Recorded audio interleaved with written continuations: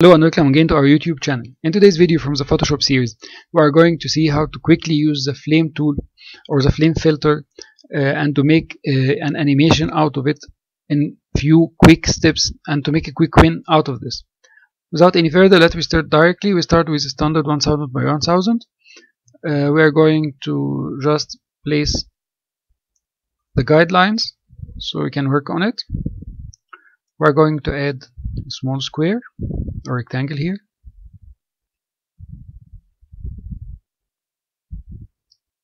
Just I like to center it. Because there is no selection I'll center it in the canvas. Okay I'd like to use for the fill this natural color which gives a little bit the effect of the uh, wood of the matches. Okay then I'm going to add the head of the match. I add it on a new layer. So we make sure that here is the shape. And then we make the head of the match.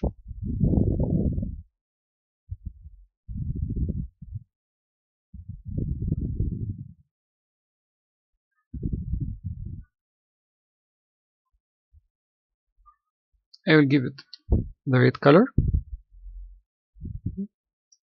Then I will make control J so I'll make a new layer. You can see it here that's a copy of the layer.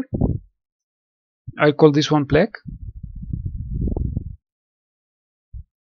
This one we'll call it red. And the black one V. I'm going to extend it a little bit so control T. It's linked together the width and the height so I'll just increase it by 10% and I'm going to change its color. I return again to my tool the same tool you had created and then you change the color. Now uh, it is black.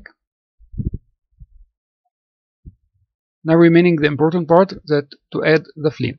Control shift n I will add it in a new layer.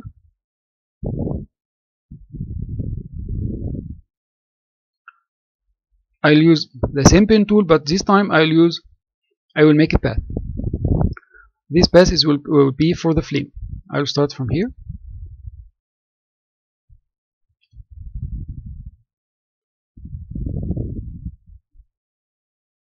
To create a flame or to, to use a flame filter you need to have a path. So now I'll go to filter render flame.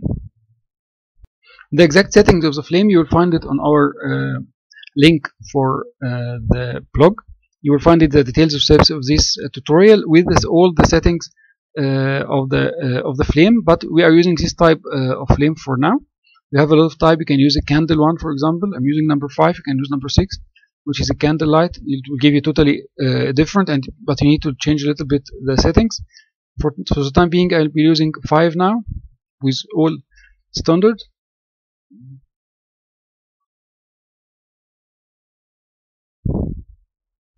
and I'll hit OK.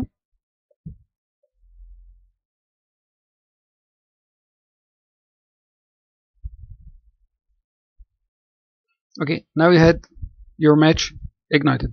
Now I need to add an animation for all these layers. So first thing because this is uh, a path with an effect on the path it's not going um, it's not going to make the transformations that I need in my video.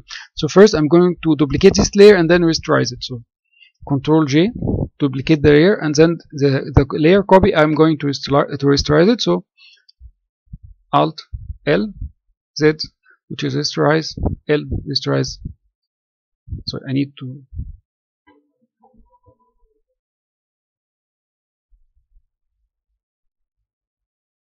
so it's already rasterized this layer. We had rasterized it. I deleted the other layer. Now I'm going to create my timeline window timeline? Then I create a video timeline. I will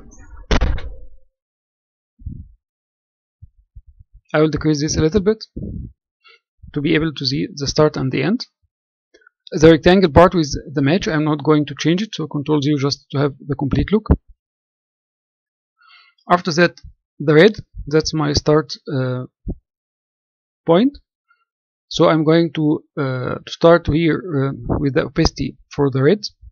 I need to start with an opacity 100% so I'm going to make the opacity 100% and record this uh, first point uh, for them ahead of the match before ignition which is the red one. For the black I'll record the, uh, the opacity of the black in the beginning to zero.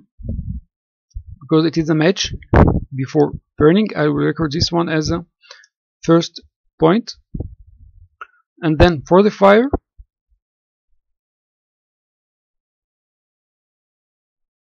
layer smart objects convert convert to smart objects.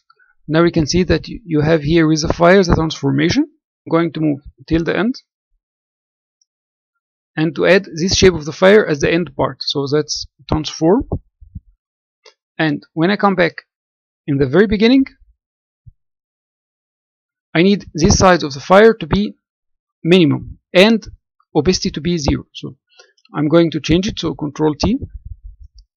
I'll change this to 10% it will be very small. Just I'll bring it in the center of the match here. And I will record enter and I will record this point. And for the opacity I needed to start here from opacity 0 so this one opacity is 0 here. Just I remove the opacity and return it again to make sure it's recorded as 0 and at the very end I need its opacity to be 100 if we go to the other layers the black at the very end I need the black opacity to be 100 because now my match is burned.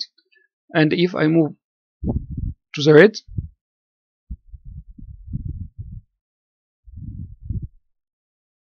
just I need to click on the opacity to make sure that I am selecting the opacity and for the red at the end I need its opacity to be 0 you can see it's coming automatically. Now let's play our video. Now let's replay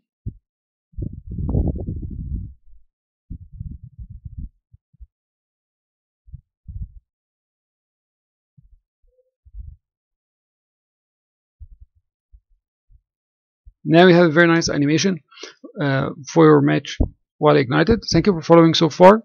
Uh, join our channel uh, activate the bell to receive our videos just as they released you can see here uh, on the top the link to our channel uh, to our blog post. Uh, follow uh, this link jo join our post so you can receive the updates and you will find the settings for the fire and all these details you will find it on our blog post. Thank you for following so far. See you in coming videos